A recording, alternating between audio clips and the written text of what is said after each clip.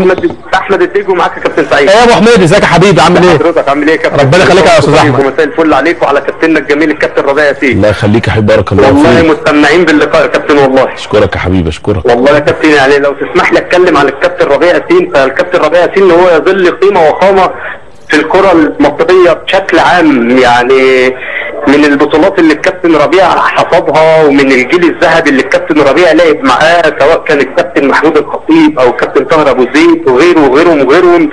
يعني إحنا فعلا بنفتقد الكابتن ربيع ياسين الوحيد اللي كان بيربي لعيب الكورة الناشئ آه تربية أخلاقية قبل التربية الفنية. تمام. يعني فعلا إحنا بنفتقد يعني لو في ربيع ياسين في كل قطاع ناشئين ما كانش هيوصل بينا الحل لغايه كده. إحنا النهارده بنشوف أخلاق اللعيبة بنقول تاني الكابتن ربيع الكابتن ربيع بيعلم اللعيبة الأخلاق قبل ما بيعلمهم الكورة. يعني إيه لعيب صغير ما يبوخش زميله؟ يعني إيه لعيب صغير ما يغلطش في مدرب؟ يعني إيه لعيب صغير ما يعترضش على الحكام على الفاضي وعلى المليان؟ الكابتن ربيع كان بيهتم جدا بالحاجات دي. فطبعا مع حضرتك قيمة وقامة كبيرة جدا. الكابتن ربيع ياسين آه وإحنا أنا بتكلم مش بلسان أحمد الديكو بس أنا بتكلم بلسان جميع أولياء الأمور وجميع المدربين وجميع الناس اللي ليها احتكاك مباشر بقطاع الناشئين وقطاع البراعم يا كابتن ربيع من فضلك رجاء تساعدنا في موضوع التسنين كابتن لسه يعني هنتكلم آه. ليه؟ آه كابتن ربيع النهارده ماسك المنتخب. أكيد أكيد. منتخب الناشئين أكيد هو بي بيعاني من قلة المواهب اللي مش لاقيها. بيلف مصر كلها أنا عارف الكابتن ربيع بيهتم بالأكاديميات وبيهتم بالأرياف وبيهتم بال- بالصعيد وبيهتم بالقاهرة. وبيلف مصر كلها كعب داير علشان يلاقي موهبة هنا مش باينة موهبة هنا ما حدش واخد باله منها. والمواهب كتير يا كابتن بس طبعا للأسف هي مش واصلة وما بيكملش بسبب التسنين والتزوير. طيب ليه الكابتن ربيع ياسين ما يعملش مبادرة؟ طبعا إحنا ياما اتكلمنا في الكلام ده وكل رئيس قطاع ناشئين هيقول لك أنا لو ما خدتهوش غيري هياخده. طب ليه الكابتن ربيع ياسين ما يعملش مبادرة تحت رعاية اتحاد الكورة؟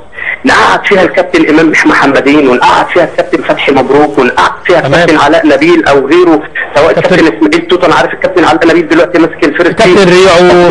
آه ليه الكابتن ربيع سلطان. الأب الأب الأب اللي كلنا يعني بنتمنى اللي هو يفضل موجود في قطاع الناشئين سواء للمنتخب أو لحاجة أكبر من كده ربنا يكرمه يا رب نقعد الناس دي مع بعض يا كابتن ربيع تكون تحت رعاية اتحاد الكورة والمبادرة اللي يعملها الكابتن ربيع ياسين عشان خاطر مصر علشان خاطر نطلع مواهب جديدة وما نقتلش إحنا عندنا 100 محمد صلاح عندنا 1000 محمد النني بس يا كابتن الموضوع بقى بقى, بقى, بقى صعب قوي وبقت الناس محترفة قوي يا كابتن ربيع في اللي هي تسنن أو تزور.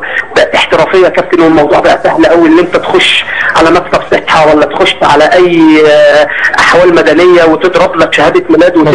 الاب تخلي ابنك النهارده لعيب كورة. والله يا كابتن الموضوع ده يوصل لثلاث سنين وأربع سنين.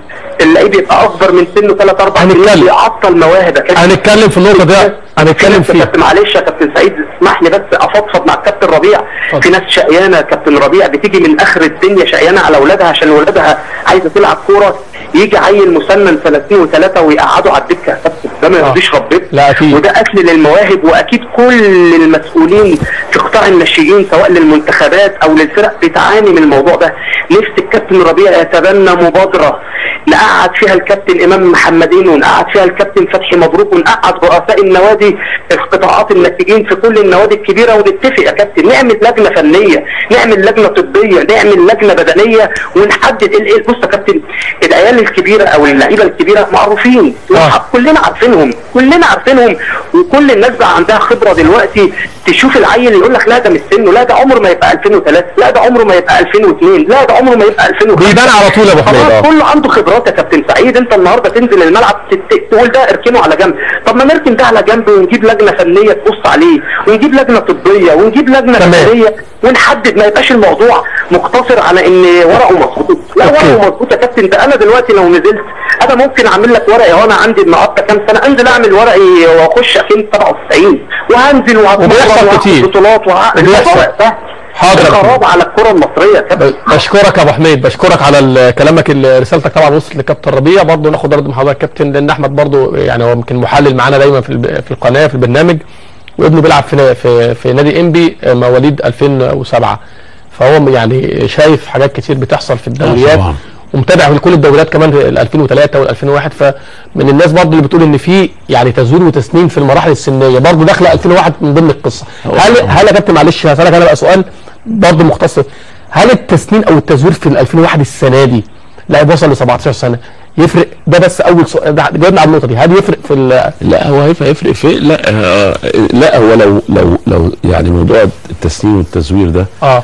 لازم الناس المسؤولة تهتم بيه كويس قوي وتريح اولياء الأمور مفيش كلام. آه. آه، ده مهم جدا إن في واحد مسنن بيجي ياخد مكان ولد. آه، م- ممكن سنه حقيقي سنه مظبوط. هي دي القصة فالمطلوب من الأندية مع اتحاد الكورة إن شاء الله ينظموا دي كلها. يبقى في طبعا آه، في حرص شديد جدا في التأييد يساعدوا في الأوراق المطلوبة. وفي نفس الوقت بيبان الس- السن بيبان يعني الوش بيبان. شفت يا كابتن العضلات لعيبه بتبان. ش- انت شفت لعيبة حس حسيت انها أكبر من 2001 في ال- ولا؟ لا هو بص يا أنا ما لا أنا ما- لحد دلوقتي ما فيش. ما شفتش اعمار يعني ما شفتش لعيبة ممكن يكون أنا يعني هل ممكن؟ أصل أنا مش في دماغي الموضوع ده. ما أنا فاهم آه. عشان أركز بس أنا في دماغي أنا- بيتفرج في الملعب فني. يعني أنا بتفرج مثلا على ماتش الأهلي في الجمعة والحرس. تعال شوف فرقة الحرس معنا 2001 ولاد صغيرين صغيرين وشوشهم صغيره صغيرين جدا. سام قليله قوي آه. جدا. آه. أنت فاهم قصدي؟ الاهلي برضه وشوش بيبان أنا بتابع. آه. إنما ما بعطلش نفسي لأن خلي بالك لو بصيت في الوشوش عشان ادقق على التسنين أو التزوير مش هتقدر تركز قوي في الحتة الثانية اللي أنت عايزها المهم بالنسبة لك الحتة الفنية. عشان أتفرج على لعيب كورة. آه. على لعيب كورة عشان طول الوقت طول ما أنا ماشي وبعدين خلي بالك يا سعيد أنا عينيا على 22 لعيب كورة في الملعب. آه. يعني مثلا ال back left اللي أنا هاخده ده عينيا عليه بيعمل إيه؟ المساك اللي أنا باخده ده من غير كورة ماشي إزاي؟ ال defender فبتابع كل واحد في سير المباراة. آه. فتخيل مثلا عندك فرقتين بتابعهم. فبخرج نفسي باخد السبعة اللي هنا والستة اللي هنا أو الثلاثه اللي هنا وبركز عليهم طول المباراة. تمام. دول أحسن ثلاثة فبعيدهم وأنا قاعد.